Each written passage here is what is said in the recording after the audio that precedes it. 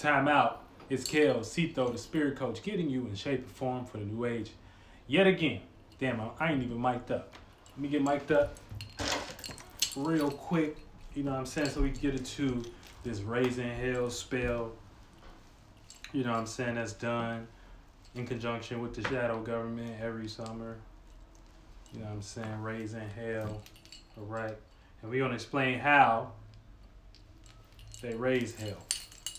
So, as soon as I get mic'd up, baby, we go into the 10 up. To the 10 up. We go into the 10 up. Shout out to everybody that's joining the esoteric huddle. It's Ceito, the spirit coach, getting you in shape and form for the new age. All right, all right, all right, all right. Because we got to learn how to see shit, you know what I'm saying? If you ain't seeing shit the right way, you know what I'm saying? You don't got the right lens and shit. You see, you might be seeing some imaginary shapes and forms that somebody else created. And those ain't how you supposed to see life really. And shit like that. All right. but yeah. So um let's let's get into it, right? We got Moon and Leo right now. Before we go and get into the Mars and Leo, you know what I'm saying? We're gonna do the moon where the moon is at. You know what I'm saying? So happy uh, moon day for everyone. You know, time to you know stay home. no pun intended. Uh, feel you know it's time of, but it's in Leo. You know what I'm saying? So the moon is in a space where it's doing the job of its uh, of its successor, aka the sun, right?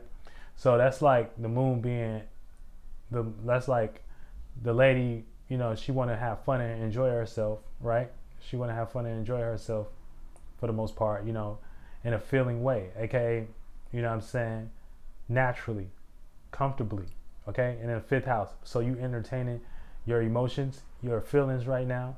You entertaining you motherfucking, you know, giving a whole lot of attention to your moods and shit like that. You know what I'm saying? But it's not doing the job that it, it likes. It, it, it's not doing the job that it likes to do. It's really it really likes to be comfortable but it kind of want to be seen. You know what I'm saying? It kind of want to be expressed. We kind of want to see that fire. And how that looks is where the sun is at. And the sun is now in Gemini, you know what I'm saying? So not only is, you know, the moon wanting to go out and, you know, entertain herself, right? She's going out, you know what I'm saying? When she go out, how it's going to look is the sun in the third house. So, you know, the moon is in a space where, you know, it's she she around her husband's friends and shit like that. You know what I'm saying? She even popped out entertaining and shit, and now she got a small talk and shit like that. You know what I'm saying? So yeah, so this is uh that's just a little metaphor. But you know, this is thinking about how to see emotions right now, because that's what we're doing. We're thinking about how to see our emotions. Um, like I said, the moon don't really care for attention like that. It like to more so be comfortable and let you know what I'm saying sun sun take care of her problems you know what i'm saying? That's like the moon is the mother you know what i'm saying? The sun is is, is what's motivating um the, the moon is what's motivating the sun to go get her shit done.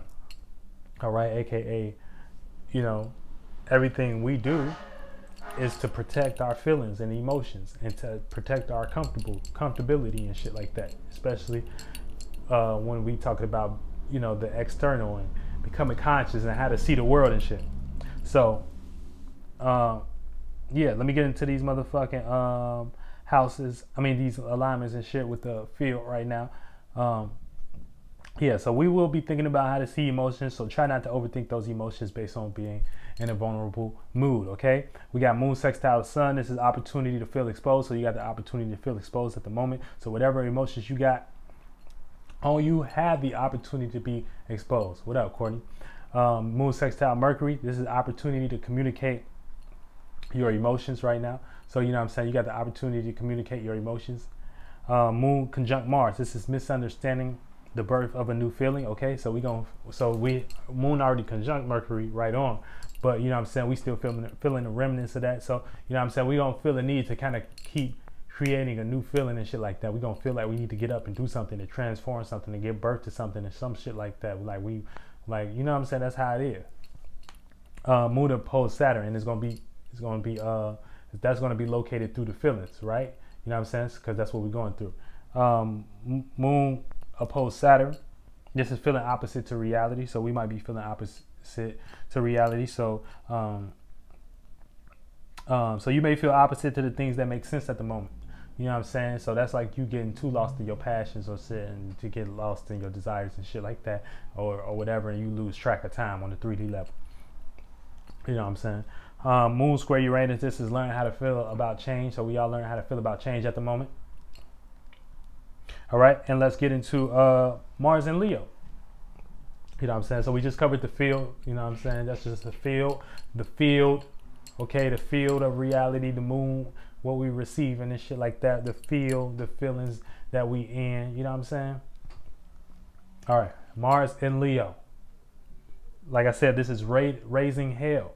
Okay, so Mars represents birth, passions, motivations, desires, and willpower. And it will be in Leo, the fifth house, aka entertainment, how you have fun and enjoy yourself, expression, and creativity.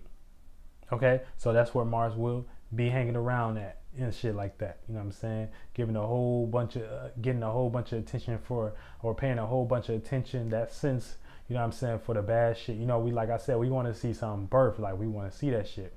We want to, we want to entertain our desires. We want to entertain our motivations. We want to entertain our passions, right? And so Mars in the fifth house uh, will bring passion to the five fixed house, aka all your passions is about to be entertained. So all your demonic energies about to look like candy right now, for the most part. And once you go to the extreme, when Mars going to Virgo, you're gonna find out how that was unrealistic. You know what I'm saying? So don't go too to the extreme and shit like that. Um, with Mars opposing Saturn right now in Aquarius, you know what I'm saying? This uh, in that alignment specifically, Mars opposed Saturn is seeing what's passions are realistic or fighting what's reality. So you can be either on, on either side. You could be fighting reality right now, aka you're gonna go to the extreme to get your passions. Or you can see see what passions are realistic. All right. Um, so Mars and Leo will either make you extremely motivated or extremely lazy, no in between, and how the shadow government is gonna use this, you know what I'm saying? Um, as they're going to use this, this as a spell where they raise hell. Now, what is hell? Hell is a routine, a pattern, something you do over and over again. That's a hell. That's a jail. That's a cell. You know what I'm saying? Think about being in a cell. That's a hell. You know what I'm saying? You in a cell. You in hell. You know what I'm saying? All right. But um, so yeah, so like I said, they will do a raising hell spell. Um, they will show y'all a bunch of sexual images um, material things you desire. Uh, people might be dressing more so like animals in a sense like they may wear cheetah prints or you know I'm saying they might show show more skin you know what I'm saying? We, that's showing our nature that's showing our animalistic side. You know um, you know you might see brighter colors sports you know I'm saying? Like you know the Mayweather fight and um, homeboy they initiated this this um, you know I'm saying? Vacations uh, you might see a, a, lot of LGBTQ via social media and their television, or people that's against that in some way, shape, or form, aka the polar opposite um, um, pers- uh, version of that, which is basically you live in animalistic, like you don't have no type of creativity when it comes to your desires or whatever, or you want to live in the tropics or some shit like that, or you want to be all natural and shit like that. It's just the same thing. It's just just one is modified and the other one is is is just opposing what what could be modified all right? So this is a representation this whole spell this is a representation of a birth of the birth of summer aka all of our internal natures being externalized okay? That's why we look outside and we see flowers and shit right now you know what i'm saying? So, you know because all every what was once dead you know what i'm saying? That don't mean it's not it's not it's not here, but it's just like when our son, our sun comes closer to, you know, based on them vibrating, you know what I'm saying? Motherfucking, it creates an orb and, shit gets burst out of that orb. You know what I'm saying? AKA, that's in heat. You know what I'm saying? So think about when you like a boy or a girl or whatever, and you go and you and y'all start vibrating closer to each other, not just on the physical level, but on a mental level and on a um, and on a fit on an emotional level, that's going to create an orban between y'all going to get in heat. That's going to create ideas and um, that's going to create ideas and um, space that um, things can give birth to. AKA y'all done created a reality, and that's what we that's what sex is. You know what I'm saying? The joining of two energies or more to create another one. Okay. Oh yeah, but uh, so this is the birth of summer, aka all of our internal natures being externalized. Um, so yeah, so um, so this will um, inspire you to eat the fruit, aka you know what I'm saying? It's like the Adam and Eve story, but you know, don't get too religious out because this is something we all influenced by. You know what I'm saying? You know, but this is their way of equalizing the world, aka y'all separate yourselves, go to extreme measures for a little or nothing, aka then you go overboard, okay, you eat the fruit, you know what I'm saying, just to pay your bills at the end of the day. And this is aka you upholding their system that gave you the ability to do that in the first place. So so they got both ends because they show you what the maximum desire is based on the magic square. Uh, it could be this, you know, this this possession or whatever. And you go and right now you're gonna see that possession and you won't want to go for it.